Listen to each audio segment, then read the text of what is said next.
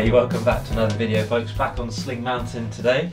It is lush outside, properly nice, super warm, proper bank holiday weather that we can't really get out and enjoy properly, but hey ho, we can get in the garden or whatever, hopefully you can go for a bike ride or a dog walk or something. I'm going to make this short and sharp today. I'm really going to try hard to do that because I want to do this indoors and then go straight back outdoors. I'm going to take the laptop out, I'm going to do a little bit of editing out there uh, and just enjoy some sun rays. You've got to take some pleasure out of this uh, sort of difficult uh, situation, haven't you? So I'm going to do that exactly just that.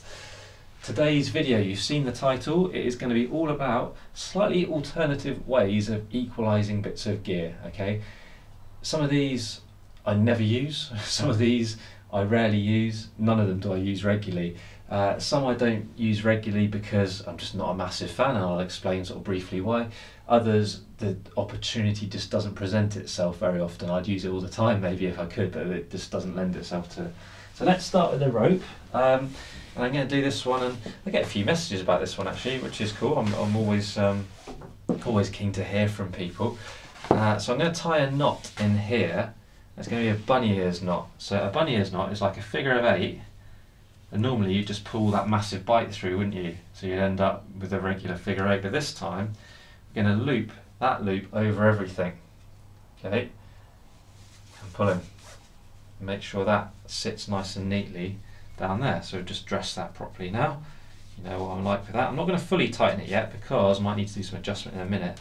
But you end up with a knot that looks very similar to a figure of eight, but it's got a bonus strand. And you've got two ears coming out from it. So this is good, I can equalise these two bits of gear. I'm going to do that up, I've said before, don't want to get in trouble on the internet. I just, I'd be disappointed in myself if I let my standards slip to not doing carabiners up Porsche, isn't it? I got lucky there, it's kind of equalised pretty good, isn't it? Can now dress that knot up properly, get him all firmed up. That's kind of a nice length of tail, perfectly safe, isn't it? I don't feel like it's too long it's going to get in the way. If you felt it was too long, it's going to get in the way. Maybe do a stopper in there, but I'm happy with that. Why don't I like it? I find it a little bit faffy to adjust within here, right? Now, you end up, or I end up if I was doing this method, adjusting it at the anchors, and that's fine, right? So say this one was a bit short and I wanted to tighten it up. You've got a couple of options. You could just do a wrap in there, that's okay. If you wanted to take up a bit more, maybe more wraps, they start to sort of twist a bit funny and stuff, and just I, I, like to paint clear pictures, you know, I'm like, so I could do a clove hitch and that would take up some slack out of the out of the loop, wouldn't it?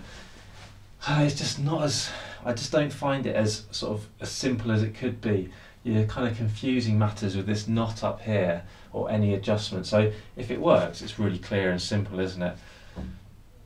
Let's evolve it into a slightly different method that is quite similar, right? Um, and again, it's not one I use regularly, but it's perfectly safe and, and some people love it. So, you know, who am I to argue if they like it and it works in that situation, then great. And that's the key, isn't it? Do you see myself punch me in the stomach then? Um, if it works and it's safe and it's simple and all that kind of stuff, then great. Let's tie a figure of eight in there. Again, dress it, but not, I'm not going to fully dress it yet because I might need to adjust it and I've ended up with like a massive loop there.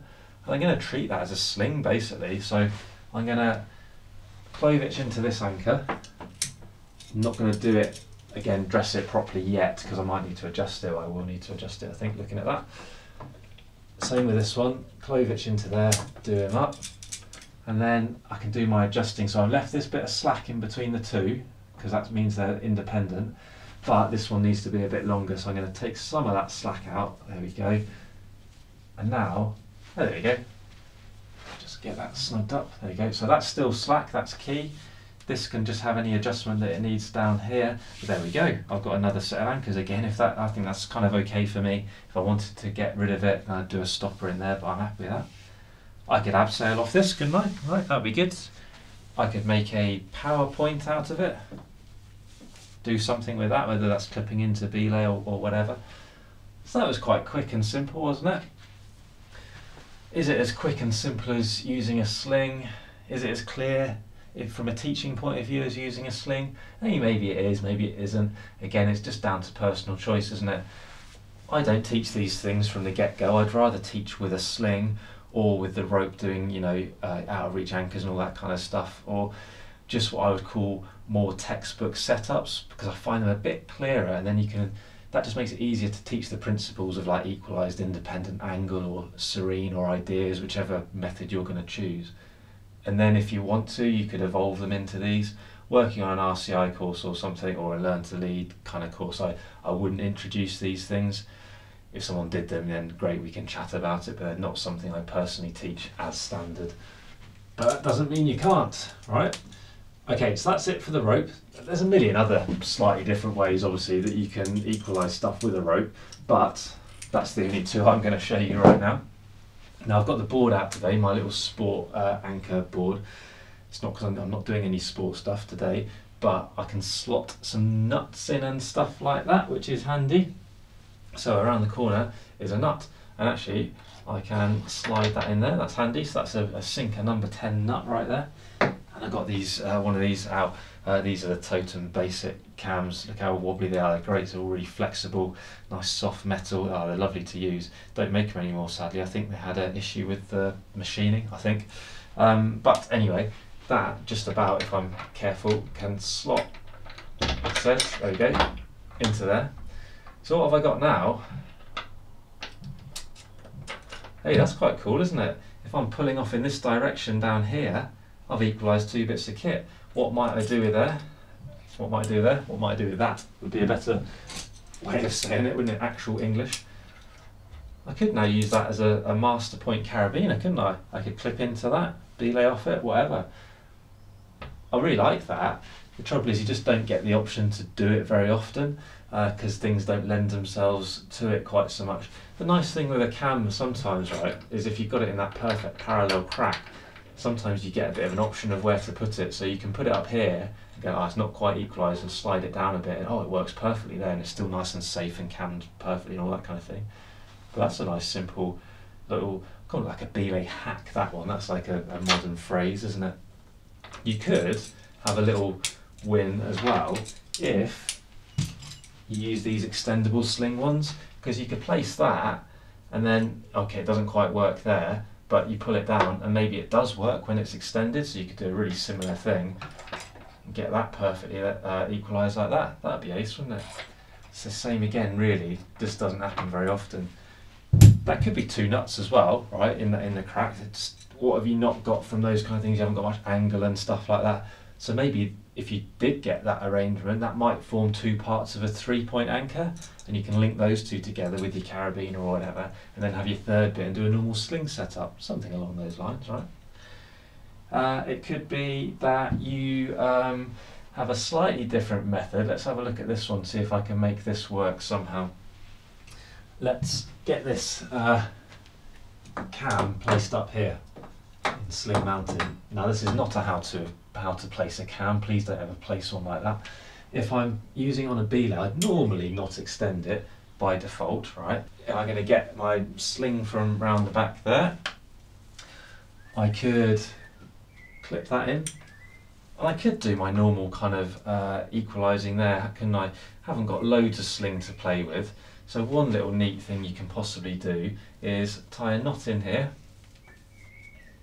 Get your screw gate if you've got a screw gate, isn't it? Clip him in. That's not doing anything yet, is it? So if I loaded that, it's only loading the nut. So what I'd have to do here is roll that overhand up a bit, maybe to about there. Let's try that. Hey, there we go, perfect. That's now equalised, so that can just stay out the way, can't it? And that could become my master point carabiner, or two parts linked to a bigger system. So it's just a slightly different way of doing it, isn't it? I, I like these ideas of just having a few little, uh, you know, tools in a toolbox and all that. Uh, it might save you some kit. It, it, might just work in that particular situation. You could even do this with maybe a sling draw or something like that. That might work really well, mightn't it? Hey, so there you go. There's just a few little options there. Hey, as usual, put in the comments if you've got some little uh, top tips of little belay hacks or whatever that you like, or slightly alternative ways of doing things. Let us know and chuck a link in as well. I'm I'm always learning from these videos and things as well. What people are firing back at me. It's ace, isn't it? But it's like I say, it's just nice to have these different options and you need to have that basic understanding first, I think, to go and look at, say, this for example, and go, hey, that's not quite what I'd normally see, but does it tick the right boxes? Equalised, independent, creating an angle. Well, yes, it is. And if you've got that base understanding, then you, you're winning, aren't you, really? So there you go. Let me know any top tips of your own in the comments, like I say, uh, and do fire away with any questions, as always, right? Find us on Insta, find us on Facebook. You know the score about that. Hit the like button, smash the subscribe button if you haven't already. Massively appreciative of your watching again. Absolutely awesome. Thank you, thank you, thank you very much. Hope you enjoyed the video. More videos coming up very soon.